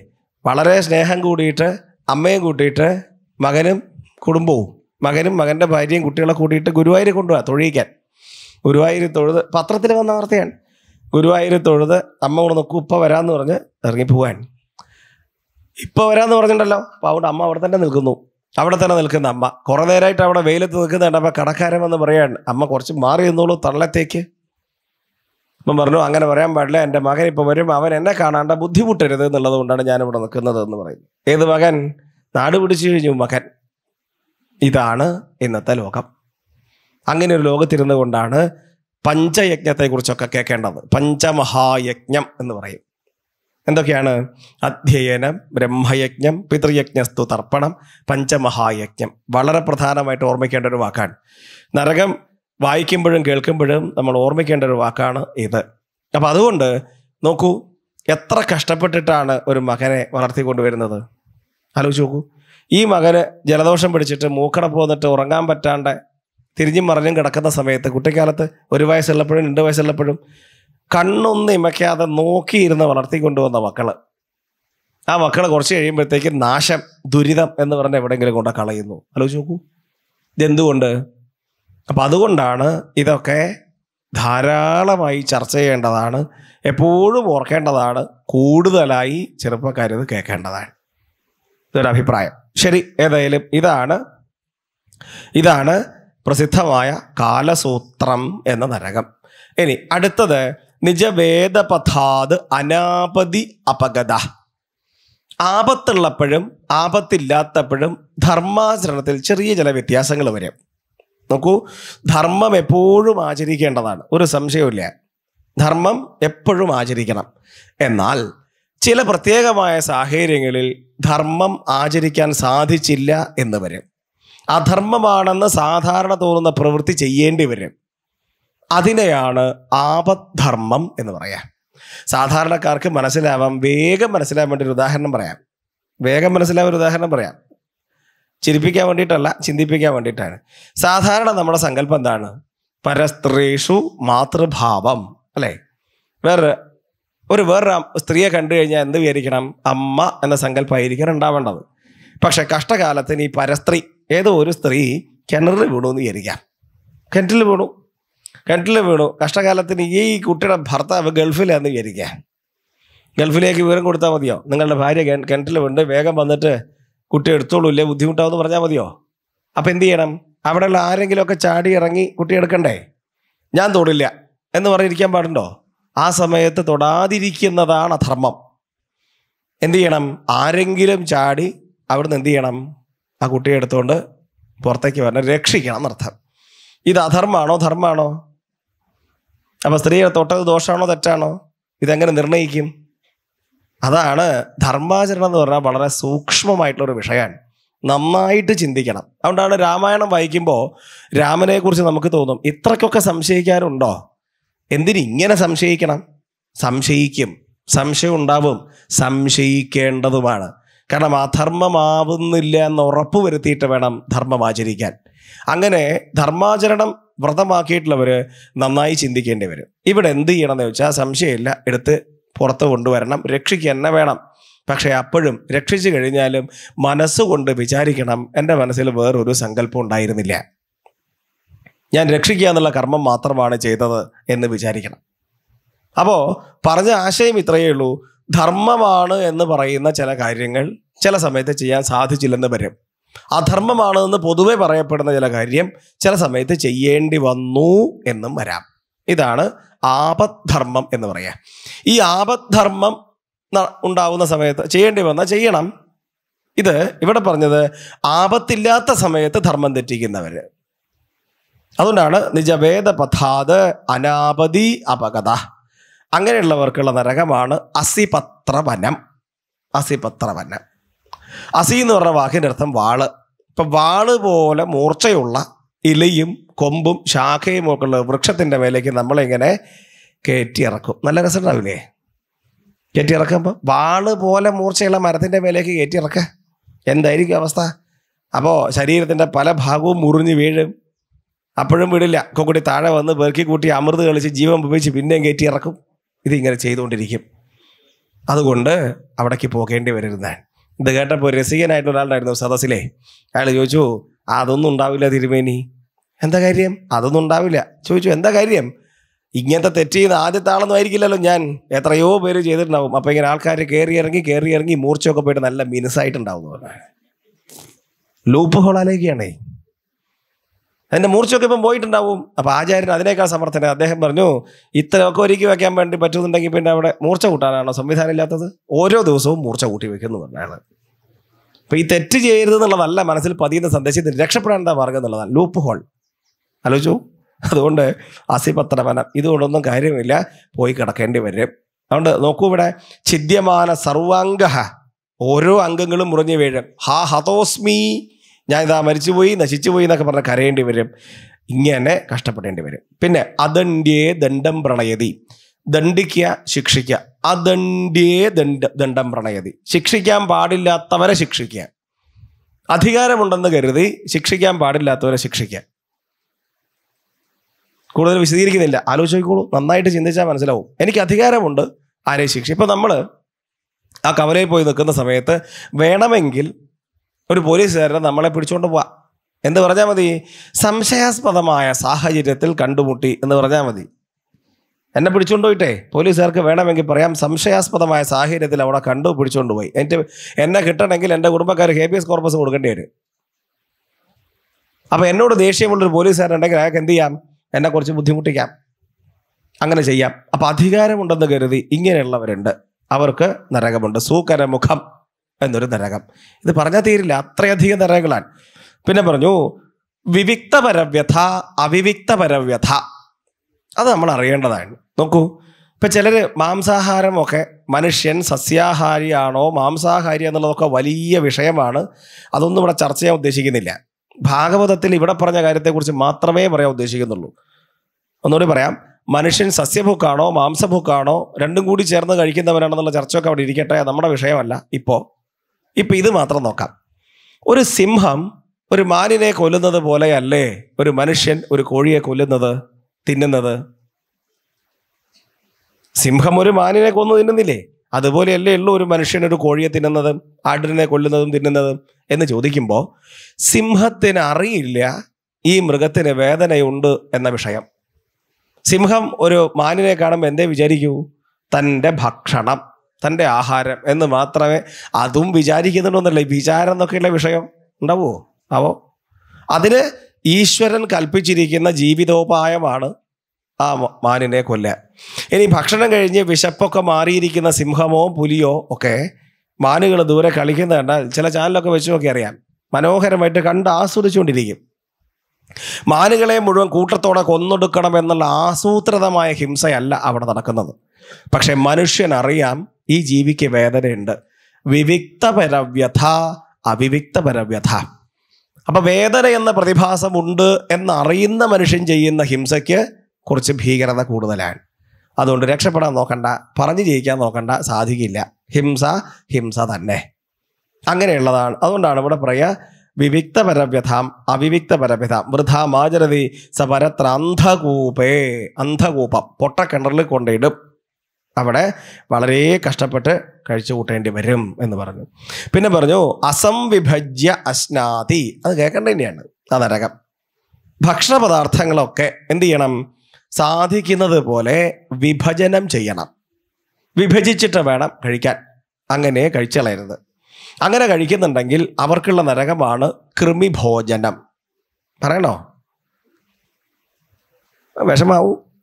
എന്തായാലും കേൾക്കൂ എന്തായാലും ഊണ് കഴിഞ്ഞില്ലേ? ഊണ് കഴിക്കുന്നതിന് മുമ്പ് ആണെങ്കിൽ വളരെ ബുദ്ധിമുട്ടാണ് ഇത് ഓർമ്മ വന്നാൽ ഊണ് കഴിക്കാൻ തരാവില്ല സാധാരണ രീതിയിൽ സപ്താഹത്തിന് ഉച്ചയ്ക്ക് മുമ്പാ വരിക. ഇപ്പം എന്തായാലും ഊണ് കഴിഞ്ഞൂല? നാളെ ഊണ് കഴിക്കുമ്പോഴത്തേക്കും മറന്നു പോയിക്കോളൂ എന്ന് വിചാരിക്കാം. ഏതായാലും ഇവിടെ നോക്കൂ. കൃമിഭോജനം. കൃമിഭോജനം എന്ന് പറഞ്ഞാൽ ചിലർ പറയും രാവിലെ കഴിഞ്ഞാൽ കുറച്ച് കൃമി ഉച്ചയ്ക്ക് കുറച്ച് കൃമി വൈകുന്നേരം കുറച്ച് കൃമി എന്ന് പറഞ്ഞ് ഭക്ഷണം കിട്ടുന്ന പറയാ. അങ്ങനെയുമല്ല കൃമി കുണ്ടത്തിലാണ് കിടപ്പ്. കൃമികളുടെ കൂട്ടത്തിലാണ് കിടപ്പ്. പിന്നെ അതെന്ത്? രാവിലെ വൈകുന്നേരം തരാൻ. എപ്പോഴും കൃമികളുടെ കൂട്ടത്തിലാണ്. രാവിലെ ഉച്ചയ്ക്ക് വൈകുന്നേരം ഭക്ഷണമായിട്ട് കിട്ടുന്നൊന്നുമല്ല കൃമിഭിരേവ ഭക്ഷ്യമാണ്. കൃമികൾ നമ്മളെ കഴിച്ചുകൊണ്ടിരിക്കുന്ന ശരീരം മുഴുവൻ കൃമികൾ ഇങ്ങനെ പൊളഞ്ഞുകൊണ്ടിരിക്കും. അതിനെ തന്നെ കഴിക്കേണ്ടി വരും. അതിനാൽ കഴിക്കപ്പെട്ടുകൊണ്ട് അത് കഴിച്ചുകൊണ്ട് കഴി ഇരിക്കേണ്ടി ഇത് ഞാൻ പറഞ്ഞ നെറ്റി ഉളിയുണ്ട് പലരുടെയും. അതുകൊണ്ട് കൂടുതൽ പറയുന്നില്ല. അതിഭീകരമാണ്. അങ്ങേയറ്റം ജുഗുപ്സാവഹാണ് അവിടുത്തെ കഥ. ആരെയാണ് അവിടെ കൊണ്ടുപോയി കിടക്കുക കിടത്തുക? അസംവിഭജ്യ അശ്നാതി സംവിഭജനം ചെയ്യാതെ. ഭക്ഷണപദാർത്ഥങ്ങൾ. ഞാൻ അധ്വാനിച്ചുണ്ടാക്കിയതാണ്. ഞാൻ അധ്വാനിച്ചുണ്ടാക്കിയതാണ്. ഞാൻ പാകം ചെയ്യുന്നു ഞാൻ കഴിക്കുന്നു. അതും തെറ്റാണ്. അവനവന് വേണ്ടി മാത്രം ഭക്ഷണം ഉണ്ടാക്കി കഴിക്കുന്നവൻ കഴിക്കുന്നത് അമേധ്യമാണ് എന്ന് ചില ആചാര്യന്മാർ പറഞ്ഞിട്ടുണ്ട്. അപ്പം നമുക്ക് വേണ്ടി മാത്രം ഉണ്ടാക്കിയ പോരാ ഭക്ഷണം. അതുകൊണ്ടാണ് പണ്ട് കാലത്ത് ഒരു പിടി അരിയും കൂടിയിടുന്നൊക്കെ പറയാറുണ്ടായിരുന്നില്ലേ? ആരെങ്കിലുമൊക്കെ വരുമെന്ന സങ്കല്പമാണ് ആരെങ്കിലുമൊക്കെ വരുമെന്ന് വിചാരിക്കുന്നു. അവർക്ക് കൂടി വേണ്ടിയിട്ടാണ് ഭക്ഷണം ഉണ്ടാക്കുന്നത് സങ്കല്പാണ്. അപ്പം അതുകൊണ്ട് എന്ത് ചെയ്യണം? യഥാശക്തി സംവിഭാഗം ശക്തിക്കനുസരിച്ച് എന്തെങ്കിലുമൊക്കെ കൊടുക്കാൻ സാധിക്കണം.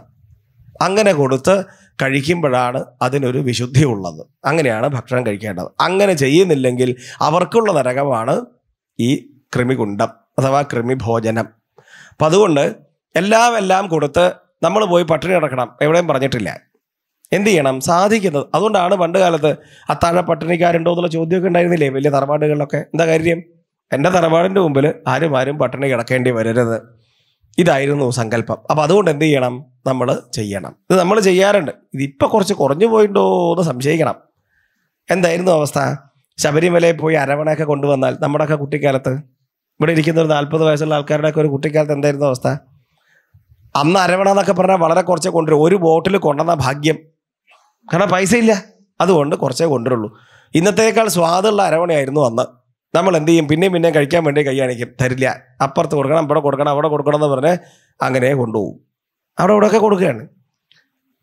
അന്ന് ഇതിനേക്കാൾ സ്വാദിഷ്ടമായതാണ് നമുക്ക് കുറച്ചുകൂടി കഴിക്കണമെന്ന് വലിയ മോഹം ഉണ്ടാവും. എന്നാലും കിട്ടില്ല. കുറച്ചേ ഉണ്ടാവും. ഇന്നോ?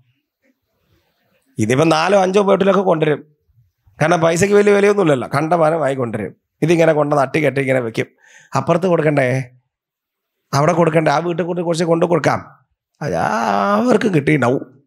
നോക്കണേ മനുഷ്യന് ചിന്ത മാറുന്നത്. അവർക്ക് എവിടെന്നെങ്കിലും കിട്ടിയിട്ടുണ്ടാവും. എന്തിനാ അങ്ങനെ ചിന്തിക്കേണ്ട ആവശ്യം? അവർക്ക് എവിടെന്നെങ്കിലും കിട്ടിയിട്ടുണ്ടാവും എന്ന് പറഞ്ഞ് ഇത് കൊടുക്കുക അല്ലെ വൈകുന്നേരം കൊടുക്കാം. വൈകുന്നേരം നാളെ കൊടുക്കാം. ഇങ്ങനെ പറഞ്ഞ് പറഞ്ഞ് കൊടുക്കില്ല. എന്നിട്ട് എന്ത് ചെയ്യും? നമ്മളൊന്നും നേരിട്ട് കളയില്ല. ഒക്കെ തണുപ്പിച്ച് കളയുന്നവരല്ലേ നമ്മൾ മലയാളികൾ അല്ല ഒക്കെ തണുപ്പിച്ചിട്ടേ നമ്മൾ കളയൂ. രണ്ട് ദിവസം ഫ്രിഡ്ജിൽ വെച്ചിട്ട് കളയൂ. നേരിട്ട് കളയാൻ പാടില്ല. ഈ പൊട്ടിച്ചാരവണ ഫ്രിഡ്ജ് കൊണ്ടേക്കും നാളെ കഴിക്കാമെന്ന് പറയും. അതിന്റെ പുറകിൽ ഒരു കഷ്ണം കുമ്പളം ഒരു കഷ്ണം വെള്ളരിക്ക. കഴിഞ്ഞു. സർവത്ര ഗോവിന്ദനാമ സങ്കീർത്തനം. നാല് ദിവസം കഴിഞ്ഞ് തുറന്നു നോക്കുമ്പോൾ ഇതുണ്ടായിരുന്നു എവിടെയെന്ന് ചോദിച്ചിട്ട് കൊണ്ട കളയും. ഇതല്ലേ അവസ്ഥ? എന്തുകൊണ്ട്? ഇനി കൊടുക്കുന്നത് പലപ്പോഴും താല്പര്യമില്ലാതായി തീരുന്നത് നമ്മൾ നന്നായിട്ട് അഭിനയിക്കുന്നവരാണ്. ആരെങ്കിലും അരവണയും കൊണ്ട് വന്നാൽ എന്ത് പറയും? അരവണയൊന്നും ഇവിടെ വേണ്ട. ഇവിടെ ആരാ കഴിക്കാൻ? എന്ന് പറയും. അല്ലെങ്കിലോ? അല്ലെങ്കിൽ എന്ത് പറയും? ഇവിടെ മിനിയാന്ന് കിട്ടിയിട്ടുണ്ടായിരുന്നു. മിനിയാന്ന് ഇവിടെ കൊണ്ടുവന്ന ബാക്കിയാണ്. എന്ന് പറഞ്ഞ് ആ തരാൻ കാണിച്ച നന്മയെ പോലും നമ്മൾ നിസ്സാരമാക്കി തീർക്കും. എന്തിനിങ്ങനെ പറയണം? അയാൾ എന്തുകൊണ്ടോ അയാളുടെ മനസ്സിന്റെ വിശുദ്ധി കൊണ്ട് നല്ല ഭാവനയോടുകൂടി കൊണ്ടുവന്നു. വേണ്ടെങ്കിൽ പോലും വാങ്ങി വെക്കൂ. നല്ലതല്ലേ? ഇങ്ങനെ രണ്ട് പ്രാവശ്യം. എന്താ വിചാരം? ഇപ്പം അരവണ കൊണ്ടുവന്ന് തരുന്നതേ എന്തെങ്കിലും ഒരു സൂത്രം മനസ്സിൽ വെച്ചിട്ടുണ്ടാവും. എന്തെങ്കിലും നേടാൻ വേണ്ടിയിട്ടാവും. ഇന്ന് അരവണ വാങ്ങിയാൽ നാളെ ചിലപ്പം വേറെ എന്തെങ്കിലുമൊക്കെ വന്ന് ചോദിക്കും അത് കൊടുക്കേണ്ടി വരും. വേണ്ട. നിന്റെ അരവണ എനിക്കും വേണ്ട എന്റെ ഒന്നും അങ്ങോട്ടും പ്രതീക്ഷിക്കണ്ട. ഇങ്ങനെയാണ് മനുഷ്യൻ. ചിന്തിച്ചു നോക്കിക്കോളൂ. ഇങ്ങനെയായിരുന്നു നമ്മൾ ഇങ്ങനെയായിരുന്നോ? എത്ര വേഗമാണ് നമ്മൾ ചുരുങ്ങിക്കൊണ്ടിരിക്കുന്നത്? ചിന്തിക്കൂ. അപ്പം അതുകൊണ്ട് അവിടെ അവർക്ക് താല്പര്യമുണ്ടോ ഇല്ലയോ എന്നൊന്നും നോക്കണ്ട. നമ്മളെ കയ്യിൽ എന്തെങ്കിലും ഉണ്ടെങ്കിൽ അത് അവിടെ കൊണ്ട് കൊടുക്കാം. ആരെങ്കിലും വന്നാൽ അവരെ വിളിച്ചു കൊടുക്കാം. ഇതൊക്കെ വേണ്ടതാണ്. അതാണ് ഇവിടെ പറയുക അസംവിഭജ്യാശ്നാദി സംവിഭാഗം ചെയ്യാതെ കഴിക്കുന്നത് മഹാമോശം. അത് ചെയ്യരുത് എന്നാണ്.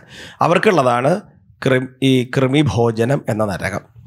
പിന്നെ പറഞ്ഞു ചിലർ ഒരു കാലത്തും പ്രാപിക്കാൻ പാടില്ലാത്ത സ്ത്രീകളുണ്ട്. ഒരു കാലത്തും പ്രാപിക്കാൻ പാടില്ലാത്ത പുരുഷന്മാരുമുണ്ട്. അങ്ങനെയുള്ള വിഷയങ്ങളൊന്നും നോക്കാതെ എവിടെങ്കിലുമൊക്കെ ഓടിക്കേറി എന്തും പ്രവർത്തിക്കുന്നവർ വിശദീകരിക്കേണ്ടല്ലോ കാര്യം മനസ്സിലാവുന്നില്ലേ? അങ്ങനെ അക്രമം ചെയ്യുന്നവർ അങ്ങനെ അക്രമം ചെയ്തത് സ്ത്രീയാണെങ്കിൽ അവിടെ ഒരു പുരുഷന്റെ പ്രതിമ ഉണ്ടായിരിക്കും. പുരുഷനാണ് ഈ അക്രമം ഇവിടെ ചെയ്തതെങ്കിൽ അവിടെ സ്ത്രീയുടെ പ്രതിമയും ഉണ്ടായിരിക്കും. ആ പ്രതിമ നന്നായിട്ട് ചുട്ട് പഴുപ്പിച്ച് നല്ല ഭംഗിയിൽ അവിടെ ഇങ്ങനെ കാഴ്ചയ്ക്ക് വെച്ചിരിക്കും. എന്നിട്ട് പറയും ഭൂമിയിൽ കണ്ട മാനം കെട്ടിപ്പിടിച്ച് നടന്നില്ലേ?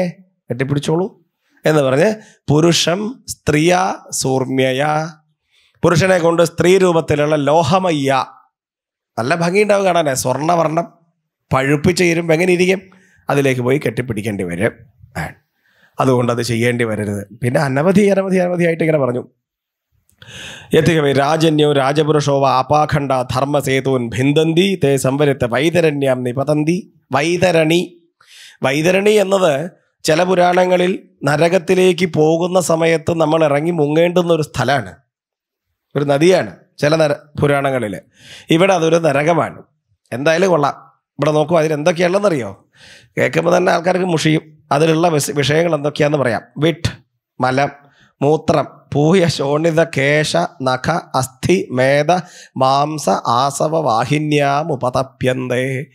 ഇങ്ങനെ അശുദ്ധമായ കേട്ടാൽ പോലും നെറ്റി ചുളിയുന്ന തൊട്ടപ്പ കൈയിടണമെന്ന് തോന്നുന്ന അനവധി അശുദ്ധ വസ്തുക്കൾ നിറഞ്ഞിരിക്കുന്ന ആ വൈതരണിയിൽ നമ്മളെ ഇട്ട് ഇങ്ങനെ മുക്കും. കഷ്ടയെ കഷ്ടം. അവിടെ പോയി കിടക്കേണ്ടി വരും. അത് ചെയ്യരുത് എന്ന് പറയാൻ. അടുത്ത പറഞ്ഞു പുരുഷമേധം. അത് സാധാരണ ആൾക്കാർ ചെയ്യാൻ സാധ്യതയില്ല. പുരുഷമേധം. മനുഷ്യനെ തന്നെ ബലി കൊടുക്കുന്ന യജ്ഞങ്ങൾ അങ്ങനെയുള്ള നരകങ്ങൾ ചെയ്യാം പിന്നെ പറഞ്ഞു നഷ്ടചൗചാചാര നിയമാഹ ത്യക്തലജ്ജ പശുചര്യാം ചരന്തി. ഒരു തരത്തിലുള്ള മര്യാദയും പാലിക്കാതെ മൃഗങ്ങൾക്ക് എന്തെങ്കിലും മര്യാദകളുണ്ടോ? അവയുടേതായ ജനിതകമായ ചില വിഷയങ്ങളെന്നല്ലാതെ. ഇപ്പോൾ ഒരു പ്രസവത്തിലുണ്ടായ ആൺകുട്ടി ചിലപ്പം ആ പ്രസവത്തിലുണ്ടായ പെൺകുട്ടി ചിലപ്പോൾ ഇണയർന്നു എന്ന് വരും. പക്ഷെ മനുഷ്യൻ അങ്ങനെയല്ല. അനവധി മര്യാദകളുണ്ട് മനുഷ്യന്. ആ മര്യാദകളൊക്കെ പാലിച്ചാലേ സാമൂഹിക ജീവിതം നീതിയുക്തമാകൂ ധാർമ്മികമാകൂ അങ്ങനെ നിയമബോധങ്ങളോ ഈ തരത്തിലുള്ള ആചാരവിശേഷങ്ങളോ ഒന്നും പാലിക്കാതെ എന്തും ചെയ്യുന്നവർ അങ്ങനെയുള്ളവർക്കുള്ള നരകമുണ്ട്. അവിടെ നിഘ്നന്തി ഇഷുഭിർ വിദ്യന്തീതാൻ ഭീകരമായ രീതിയിൽ നമ്മളെ കുത്തി വേദനിപ്പിച്ചുകൊണ്ടിരിക്കും പിന്നെ ഭൂതാനി ഉദ്വേജയന്തി. ജീവജാലങ്ങളെ വെറുതെ ഉദ്വേഗത്തിലേക്ക് നയിക്കാം. ചില ജീവികളൊക്കെ ശാന്തമായിട്ട് കിടക്കവും അതിനെ പോയിട്ട് ഉപദ്രവിക്കാം ചിലർ ശാന്തമായിരിക്കവും അവിടെ പോയിട്ട് വേണ്ടാത്ത പല കർമ്മങ്ങളും ചെയ്ത് ചിലതൊക്കെ ചോദിച്ച് ഉപദ്രവിച്ച് ഇങ്ങനെയുള്ള കർമ്മങ്ങൾ ചെയ്യാം അങ്ങനെയുള്ളവർക്ക് നരകമുണ്ട്. ദന്തശോകം എന്ന് പറഞ്ഞ നരകം. നമ്മൾ നമ്മളെ സ്നേഹം പ്രകടിപ്പിക്കാൻ നമ്മളെ ബഹുമാനം പ്രകടിപ്പിക്കാനൊക്കെ ആവും ചിലപ്പോൾ ചെയ്യുന്നുണ്ടാവുക. പക്ഷെ അത് കേൾക്കുന്നവർക്ക് കൂടി തോന്നേ അങ്ങനെ തോന്നാൻ സാധ്യതയില്ലെങ്കിൽ ബുദ്ധിമുട്ടാണ്. ഇപ്പോൾ ഒരാൾ ശാന്തമായിട്ട് ഒരിടത്ത് ഇരിക്കാവും. അവിടെ പോയിട്ട് വെറുതെ എന്തെങ്കിലുമൊക്കെ ചോദിക്കാൻ പറയുക. നമുക്ക് ആവശ്യമുള്ളത് മുഴുവൻ കണ്ട ഉടനെ ചോദിക്കണം എന്ന് വിചാരിക്കരുത്. അവരുടെ മാനസികാവസ്ഥ എന്താണെന്ന് അറിയില്ല. അപ്പോൾ ആവശ്യമുള്ളതേ ചോദിക്കാവൂ മനുഷ്യരോട്. മൃഗങ്ങളോട് എവിടെയെങ്കിലും കിടക്കുന്ന മൃഗങ്ങൾ അതിനെ പോയിട്ട് വെറുതെ ഉപദ്രവിക്കുക അതൊന്നും ചെയ്യരുത്. അങ്ങനെയുള്ളവർക്ക് നരകമുണ്ട്. പിന്നെ പറഞ്ഞു ഭൂതാനി ഉദ്വേജയന്തി അതിഥീൻ അഭ്യാഗതാൻ അതൊരു പ്രധാനപ്പെട്ട വിഷയമാണ്. അതിഥികളെയും അഭ്യാഗതന്മാരെയും മാന്യമായ രീതിയിൽ നോക്കണം. എങ്ങനെയാ മാന്യമല്ലാത്ത രീതിയിൽ നോക്കുക? അതിഥികൾ വീട്ടിലേക്ക് വരുമ്പോൾ എങ്ങനെ നോക്കണം? മനുഷ്യന്മാർ തമ്മിൽ പലതരത്തിൽ നോക്കുന്ന കണ്ടിട്ടില്ലേ? ആ പലതരത്തിൽ നോട്ടുണ്ട് മനുഷ്യന്മാർക്കിടയിൽ അപ്പോൾ ഇവിടെ ഇപ്പം നിയമമില്ലേ എത്ര സെക്കൻഡ് നോക്കാം? ഇപ്പൊ നിയമം വന്നില്ലേ? ഇതൊക്കെ എത്രയോ വർഷങ്ങൾക്ക് മുമ്പ് പറഞ്ഞു ഭാഗവതത്തിന് എങ്ങനെ നോക്കണം? മാന്യമായ രീതിയിൽ നോക്കണം. അതിഥികൾ വരുമ്പം ഇപ്പോൾ ഇതുപോലെ വലിയ ഒരു നടയാന്നി വരിക. വീടിന്റെ നടയേ. അവിടുന്ന് ഗേറ്റ് തുറന്നത് മുതൽ നോക്കി നിൽക്കുക തന്നെയാണ് ഇങ്ങനെ നോക്കി നിൽക്കുക. അയാൾക്ക് എന്നിട്ട് കയറി വരുമ്പോൾ കൈ എന്ത് ചെയ്യണം കാലെന്ത് ചെയ്യണം ഇരിക്കണോ നിൽക്കണോ ആകെപ്പാടോ എന്നിങ്ങനെ പരുങ്ങും. നോക്കി ദഹിപ്പിക്കുക. ദിധിക്ഷ ജീവ പാപേന ചക്ഷുഷാ നിരീക്ഷത്തെ ചുരുക്കി പറഞ്ഞാൽ എങ്ങനെ ആയിരിക്കണം എങ്ങനെ ആയിരിക്കരുതെന്ന് പഠിപ്പിക്കാൻ ഉദ്ദേശ്യം. അപ്പൊ വീട്ടിലേക്ക് വരുന്ന ഒരാളെ അതിഥിയെ മാന്യമായ നോ രീതിയിൽ വേണം നോക്കാൻ. ഒരാൾ വരുന്നത് കണ്ടാൽ നമുക്ക് ആദ്യത്തെ നോട്ടം കൊണ്ട് സ്ത്രീയാണോ പുരുഷനെന്ന് മനസ്സിലാവില്ലേ? മനസ്സിലാവും. ഏത് വേഷം കെട്ടി വന്നാലും സ്ത്രീയാണോ പുരുഷനാണോ എന്ന് സാമാന്യം ബോധമുള്ള ഏതൊരാൾക്കും മനസ്സിലാവും. പരിചയമുള്ള ആണോ അല്ലാത്ത ആളാണോ എന്ന് മനസ്സിലാവും. എനിക്ക് ഇയാളെ പരിചയമുണ്ടോ ഇല്ലേ എന്ന് ഒന്ന് നോക്കിയാൽ മനസ്സിലാവും. പിന്നെ എന്തിനു നോക്കേണ്ട ആവശ്യം? പിന്നെയും തറപ്പിച്ച് നോക്കുന്നുണ്ടെങ്കിൽ അതിന്റെ ഉദ്ദേശം വേറെയാണ്. അങ്ങനെ നോക്കരുത്. അതുപോലെ വഴിപോക്കന്മാരോട് മാന്യമായ രീതിയിൽ വേണം പെരുമാറാൻ. അങ്ങനെ അല്ലാത്തവർക്ക് നരകമുണ്ട്. അവിടെ എന്താ കഥ എന്നറിയോ ഇങ്ങനെ ദഹിപ്പിക്കുന്ന രീതിയിൽ നോക്കിയിട്ടുള്ളവരെ അവർ കണ്ണിങ്ങനെ തുറന്നു പിടിക്കും നരകത്തിലേ. എന്നിട്ട് കങ്ക കാക ഗൃധ്രം എന്നൊക്കെയാണ്. അതായത് കാക്കയും കഴുകനൊക്കെ വന്നിട്ട് ഈ ഭീകരമായി നോക്കിയവരുടെ കണ്ണിലെ കൃഷ്ണമണി കൊത്തിയെടുത്ത് പറന്നു പോകും ആലോചിച്ച് നോക്കൂ അതിന്റെ ഭീകരാവസ്ഥ. കഴുകനൊക്കെ വന്നിട്ട് കണ്ണിലെ കൃഷ്ണമണി കൊത്തിയെടുത്ത് പറക്ക. അത് ഒരാളെ പറക്കുന്ന സമയത്ത് നമ്മൾ അടുത്തത് പോയി നിൽക്കേണ്ട നമ്മളാണെങ്കിൽ ഇവന്റെ കൃഷ്ണമണി എടുത്ത് കൊണ്ടുപോകുന്നത് നമ്മൾ കണ്ടുകൊണ്ടിരിക്കുക അതിന്റെ ഭേഗ ആ ഭയാനകമായ ചിത്രം ആലോചിച്ച് നോക്കൂ. അതുകൊണ്ട് എന്ത് ചെയ്യരുത്? ഭീകരമായിട്ട് നോക്കരുത്. തുറിച്ചു നോട്ടം മഹാമോശമാണ് അഭ്യാഗതന്മാർ വഴിപോക്കന്മാരോട് മാന്യമായ രീതിയിൽ വേണം പെരുമാറാൻ. നാല് പേര് കൂടി നിൽക്കുന്ന സദസ്സിൽ ഒരു റോഡിൽ നാല് പേര് നിൽക്കുകയാണ്. എന്തെങ്കിലും ഒരു സ്ഥലത്തേക്ക് ഏതെങ്കിലും ഒരു കാര്യത്തിന് വേണ്ടിയിട്ടോ ഏതെങ്കിലും ഒരു സ്ഥലത്തേക്കുള്ള വഴിയോ ചോദിച്ചാൽ നാല് പേര് നാല് സ്ഥലത്തേക്ക് കൈ കൊണ്ടു കണ്ടിട്ടില്ലേ അങ്ങനത്തെ വിദ്യകളൊക്കെ? ഇങ്ങനത്തെ കാര്യങ്ങളൊക്കെ മലയാളികൾക്ക് ഇതൊക്കെ മഹാകലശലാണ്. അപ്പോൾ വഴി അറിയോ എന്ന് ചോദിക്കുന്നവരോട് മാന്യമായിട്ട് വഴി അറിയാമെങ്കിൽ അറിയുമെന്ന് പറയണം. അറിയില്ലെങ്കിൽ അറിയില്ലെന്ന് പറയണം. കൃത്യമാണ്. അതിനപ്പുറത്തേക്ക് അതിൽ യാതൊരു തരത്തിലുള്ള സംഭാഷണത്തിന് അവിടെ വിഷയമില്ല. അറിയോ എന്ന് ചോദിച്ചാൽ അറിയുമെങ്കിൽ അറിയാമെന്ന് പറയാം. ഇല്ലെങ്കിൽ ഇല്ലെന്ന് പറയാം. കഴിഞ്ഞില്ലേ കാര്യം? പക്ഷെ ചിലരത് പറയില്ല. ചിലരെന്ത് ചെയ്യും ഈ വന്ന ആളെ കുറേ ഒന്ന് വട്ടം കറക്കി. ഇങ്ങനെയൊക്കെ ചെയ്യുന്നവരുണ്ട്. ഇതൊക്കെ മഹാമോശാൻ. അങ്ങനെയുള്ളവരുടെ കണ്ണിലെ കൃഷ്ണമണി അങ്ങനെ തട്ടിക്കൊണ്ടുപോകും. ഇങ്ങനെയുള്ള എന്തുകൊണ്ട് ഇതൊക്കെ ചെയ്യുന്നത്? അതിഥികൾ വീട്ടിൽ കയറി വരുമ്പോൾ അർത്ഥവ്യയ നാശചിന്തയ. എന്റെ സമ്പത്ത് അപഹരിക്കാൻ വരികയാണോ? എന്റെ പണം ഇല്ലാണ്ടാക്കാൻ വരികയാണോ? ഇങ്ങനെയുള്ള പല സങ്കല്പമായിരിക്കും. അങ്ങനെയുള്ളവർക്കൊക്കെ നരകമുണ്ടായിരിക്കും. അപ്പം അതുകൊണ്ട് ആ നരകത്തിൽ പോയി കിടക്കേണ്ടി വരരുത്. അപ്പം ഇതിന്റെയൊക്കെ സന്ദേശം എന്ത് മാത്രമാണ്? ഈ നരകത്തിലൊന്നും നമ്മൾ പോയി കിടക്കേണ്ടി വരില്ല. ഈ കർമ്മങ്ങളൊന്നും ചെയ്തിട്ടില്ലെങ്കിൽ. അങ്ങനെ ആരെങ്കിലും അവിടെ പോയി കിടക്കുന്നുണ്ടോ? ശരി അവർ ഈ കർമ്മം ചെയ്തവരായിരിക്കും. നമ്മളിത് ചെയ്യുന്നില്ലെങ്കിൽ നമ്മൾ എന്തിനു പേടിക്കണം? അതുകൊണ്ടാണ് ഞാൻ നേരത്തെ ഉദാഹരണം പറഞ്ഞത്. ഈ ഒരു സെൻട്രൽ ജയിലിൽ ഉച്ചയ്ക്ക് എന്താ ഭക്ഷണം നമ്മൾ ആരെങ്കിലും ആലോചിച്ചോ? നമ്മുടെ വിഷയമല്ലത് അവിടെ ഭക്ഷണം ഉണ്ടോ? ഇല്ലേ? പച്ചക്കറിയാണോ? വെജിറ്റബിൾ ആണോ നോൺ വെജിറ്റേറിയൻ ആണോ ഇതൊന്നും നമ്മുടെ വിഷയമല്ല. കാര്യം നമ്മൾ അവിടേക്ക് പോകാൻ ഉദ്ദേശിക്കുന്നില്ല. അപ്പം അങ്ങനെ വരുമ്പോൾ ഭാഗവത സപ്താഹ യജ്ഞവേദിയിൽ ഇരിക്കുന്നവർ നരകത്തെക്കുറിച്ച് ലവലേശം പേടിക്കേണ്ട കാര്യമില്ല.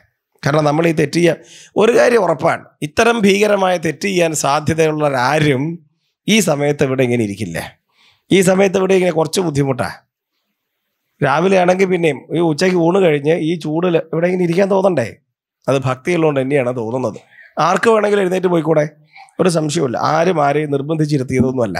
അപ്പൊ ഭഗവാന്റെ കഥ കേൾക്കാൻ വേണ്ടി വന്നിരിക്കുന്നു എന്നുള്ളത് കൊണ്ട് തന്നെ നമുക്ക് ഭക്തിയുണ്ട് എന്ന് നമുക്ക് ഉറപ്പിക്കാം. എന്തുകൊണ്ടോ വീട്ടിലേക്ക് എഴുന്നേറ്റ് കാരണം വീട്ടിലിരിക്കുമ്പോൾ ഇങ്ങനെ അച്ചടക്കത്തോടെ ഇരിക്കണോ? വീട്ടിൽ എന്ത് ചെയ്യാം?